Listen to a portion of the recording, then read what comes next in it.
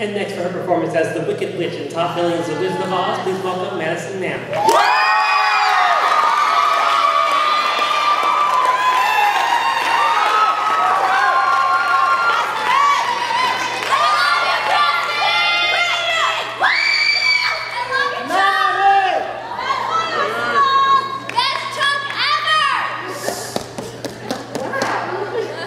Well, a lot of people like me apparently.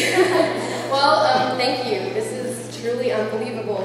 Um, first, I'd like to thank Rob Hopper and the team of judges who recognize my talent. I am so blessed and honored to be receiving this award. I also like to recognize and thank the cast and crew, volunteers, and everyone behind the scenes of our performance of Wizard of Oz for putting on an amazing show. It's a show that I will never forget. Um, now, this award, it wouldn't have been possible without God. My whole life, He's blessed me with so much. He's not only gifted me with such talents, but He's gifted me with wonderful people who've helped me express those talents.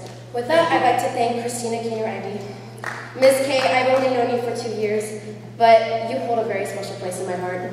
Thank you so much for this opportunity. I've learned so much from you in such a short time, but in that short time, you've taught me not only how to put on a great show, but how to be a performer.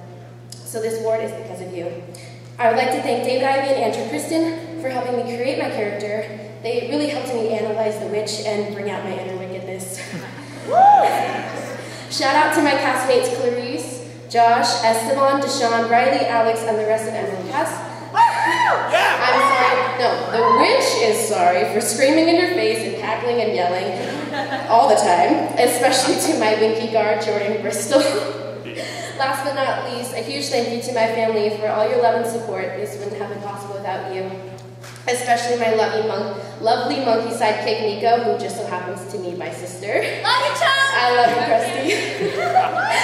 to close, I'd like to say, never give up. Try new things, don't be afraid to express yourself, and don't be afraid to step out of your comfort zone to put on a great performance. Because in the end, it's all worth it. Thank you again to the judges, and congratulations to all the nominees and winners. Thank you.